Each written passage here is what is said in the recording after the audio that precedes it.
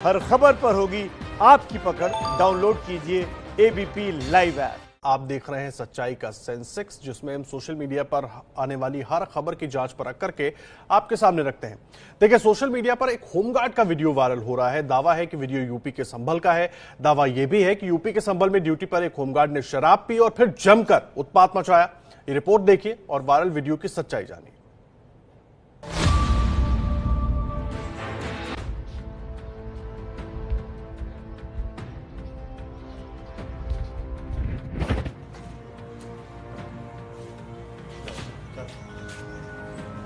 बंद करिए।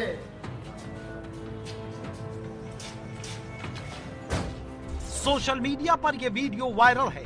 नीले रंग की गाड़ी का दरवाज़ा खुलता है।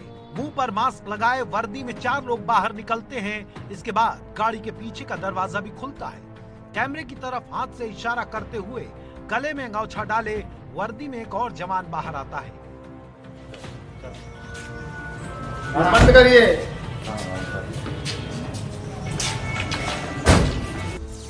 पास में खड़े दो जवान उसकी पैंट ऊपर करने लगते हैं। इसके बाद कैमरे की तरफ़ हाथ दिखाते हुए जवान आगे बढ़ जाता है। करिए।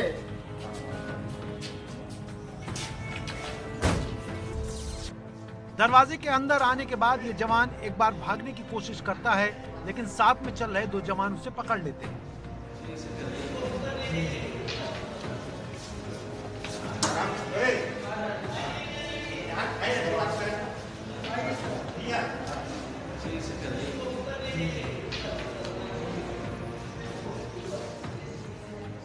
अंदर आने पर एक दरवाजे में आपातकालीन चिकित्सा अधिकारी लिखा हुआ दिखाई दिया।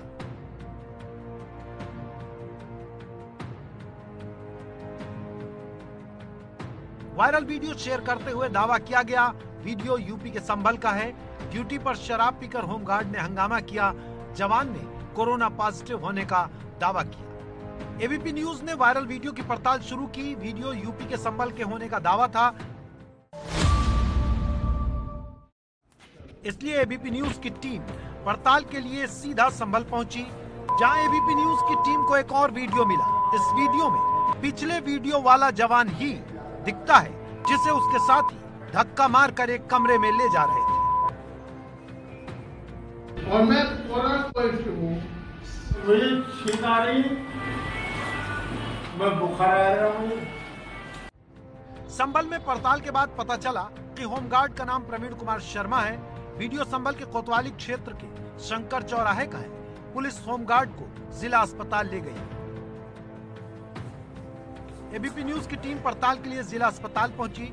जिला अस्पताल में एबीपी न्यूज़ की टीम को डॉक्टर शम्मी कपूर मिले जो वायरल वीडियो में होमगार्ड प्रवीण शर्मा के चेकअप के समय मौजूद थे। एबीपी न्यूज़ ने होमगार्ड के बारे में डॉक्टर शम्मी कपूर से सवाल किया।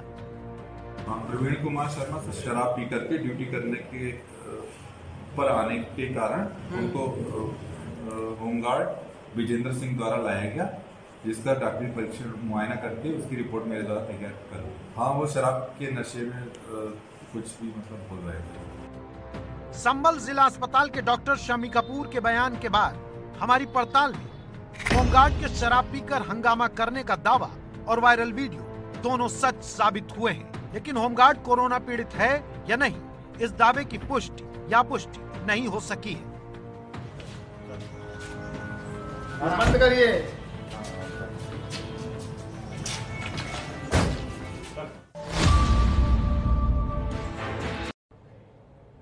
सोशल मीडिया पर कोरोना वायरस से जुड़ा एक दावा वायरल है और इस बार यह दावा इटली में कोरोना से मरे मरीजों की पोस्टमार्टम रिपोर्ट के हवाले से किया जा रहा है। अंग्रेज़ी में लिखे गए इस लंबे व्हाट्सएप मैसेज में दावा किया गया है कि कोरोना संक्रमित मरीजों की मौत सिर्फ़ निमोनिया से नहीं, बल्कि ब्लड क्लॉटिंग यानी खून जमने से होती है। दावा चौंकाने वाला है। सच्चाई के सेंसेक्स में हमने इस दावे की पूरी पड़ताल की।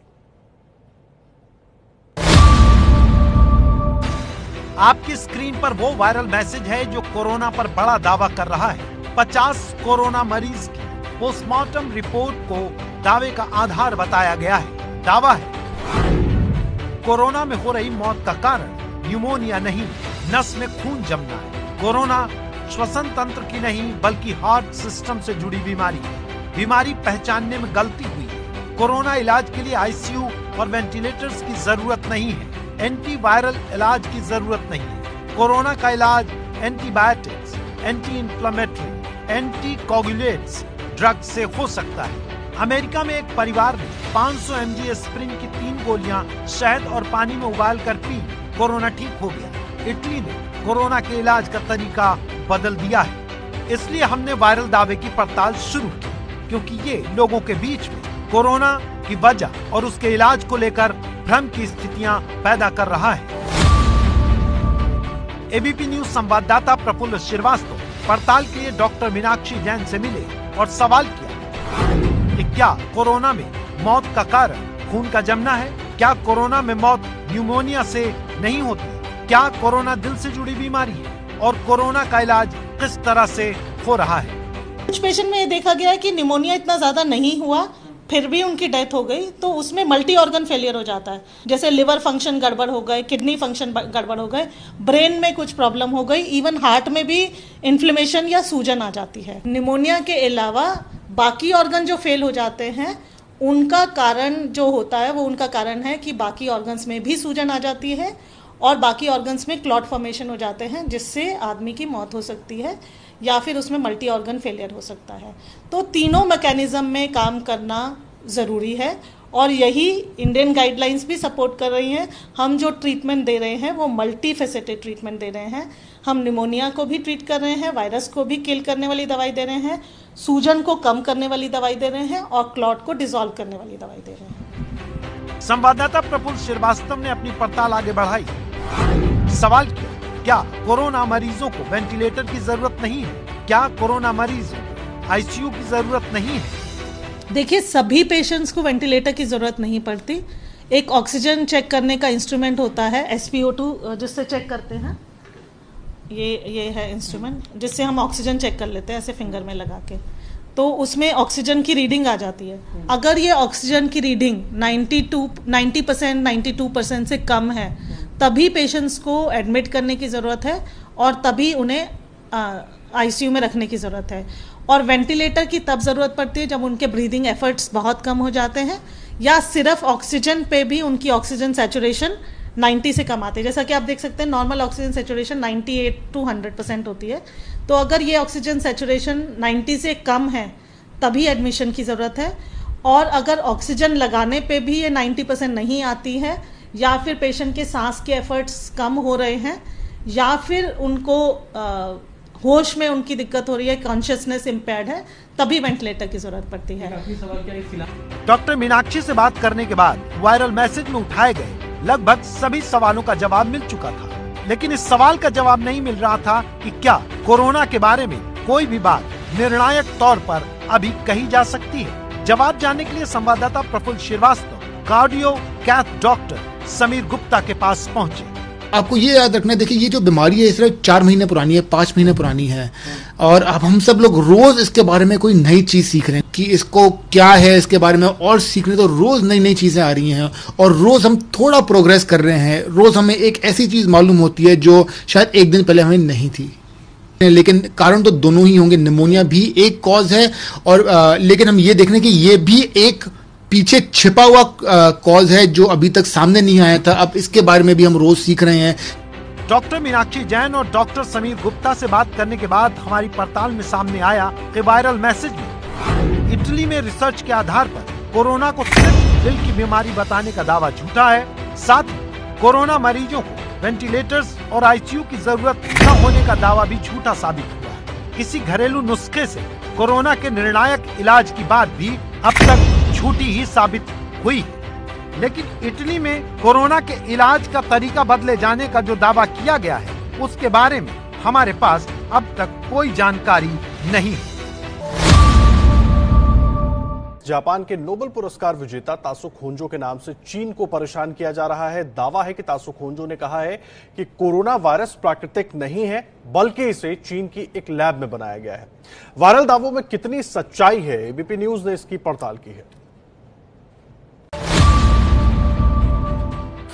सोशल मीडिया पर ये पोस्ट वायरल है। वायरल पोस्ट में जापान के प्रोफेसर डॉक्टर तासुकु होंजो की तस्वीर है। दावा किया गया है कि डॉक्टर तोसुकु होंजो ने कहा है चीन के लेबोरेटरी में मैंने चार साल काम किया है। उस लेबोरेटरी के सारे स्टाफ से परिचित हूँ। कोरोना हादसे के बाद से मैं सबको फ़ोन लगा रहा हूँ, लेकिन सभी मेंबर्स के फ़ोन तीन महीने से बंद आ रहे हैं। अब पता चल रहा है कि सारे लैब टेक्नीशियंस की मौत हो चुकी है। मैं आज तक की अपनी सारी जानकारियों और रिसर्च के आधार पर ये शत प्रतिशत दावे से कह सकता हूँ कि कोरोना प्राकृतिक नहीं है और चमगादड़ से नहीं फैला, ये चीन ने बनाया है। ट्विटर और फेसबुक पर भी ऐसी पोस्ट वायरल होने लगी। कनिष्क कुंदन नाम के यूज़र ने लिखा साइकोलॉजी और मेडिसिन में नोबेल पुरस्कार जीतने वाले जापान के प्रोफेसर डॉक्टर तोसुकु होंजो ने आज मीडिया के सामने ये बोलकर सनसनी फैला दी है कि कोरोना वायरस प्राकृतिक नहीं है। ये चमगादड़ से नहीं, इसे चीन ने बनाया है। ट्विटर से लेकर फेसबुक तक इसे शेयर किया जाने लगा। एबीपी न्यूज़ ने प्रोफेसर तोसुकु होंजो के नाम से वायरल हो रहे दावों की पड़ताल शुरू की। पड़ताल की शुरुआत में ही आपको बता दें कि प्रोफेसर तोसुकु होंजू को 2018 में साइकोलॉजी और मेडिसिन का नोबेल पुरस्कार मिला था। कोरोना चीन लैब में बनाया गया प्रोफेसर तोसुकु होंजो के नाम से वायरल इन दावों की पड़ताल एबीपी न्यूज़ ने ट्विटर पर शुरू की।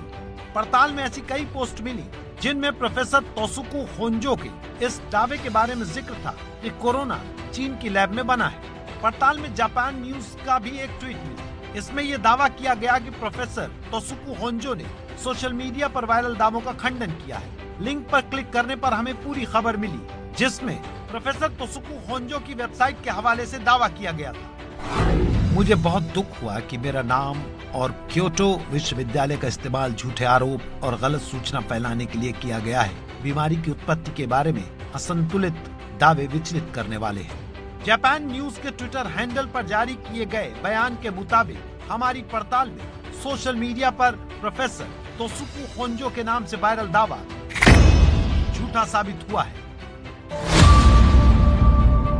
सोशल मीडिया पर बिहार से वायरल हुई कुछ तस्वीरें छाई हुई हैं। हर तरफ़ इन तस्वीरों की चर्चा है और तस्वीरों के साथ दावा है कि बिहार से हिमालय के पहाड़ दिखाई पड़ रहे हैं। कोरोना काल में जालंधर और सहारनपुर के बाद अब ऐसा दावा बिहार से हुआ तो हमने इसकी पड़ताल की। क्या सहारनपुर की तरह बिहार से भी हिमालय दिख रहे हैं? सच जाने के लिए हमारी रिपोर्ट देखिए। सोशल मीडिया पर ये तस्वीरें वायरल हैं। वायरल तस्वीर में बर्फीली चोटियाँ दिख रही हैं। दावा है कि ये हिमालय श्रृंखला की चोटियाँ हैं, जो बिहार के सीतामढ़ी से दिखाई दे रही है। ट्विटर पर रितु जायसवाल ने ये तस्वीरें साझा करते हुए लिखा, हम सीतामढ़ी ज़िले में अपने गाँव सिंह वाहिनी में अपने घर की छत से माउंट एवरेस्ट देख सकते हैं आज। प्रकृति खुद को संतुलित कर रही है। नेपाल के नज़दीक वाले पहाड़ तो बारिश के बाद साफ़ मौसम में कभी कभी दिख जाते थे। असल हिमालय के दर्शन अपने गाँव से आज पहली बार हुए। ये दावा हैरान करने वाला था, इसलिए एबीपी न्यूज़ ने वायरल तस्वीरों की पड़ताल के लिए सीधा पटना विश्वविद्यालय के भू विज्ञान विभाग के पूर्व प्रोफेसर वसंत कुमार से बात की। ये, इसमें कोई बहुत आश्चर्य की बात नहीं है। अगर वायुमंडल बिल्कुल साफ़ रहे, हवा में धूल कण न हो तो हिमालय पहाड़ तो साफ़ दिख ही सकता है, क्योंकि सीतामढ़ी से जो शिवालिक फुटहिल्स से समीप है, वो हिमालय पहाड़ से बहुत दूर नहीं है। तो इसलिए और लोगों का कहना है कि आज से 40-50 वर्ष पहले भी वहाँ से दिखाई पड़ता था माउंट एवरेस्ट और हिमालय पहाड़। पटना विश्वविद्यालय के पूर्व प्रोफेसर बसंत कुमार के मुताबिक साफ़ वातावरण के कारण सीतामढ़ी से हिमालय की श्रृंखलाएँ दिखाई दे सकती हैं।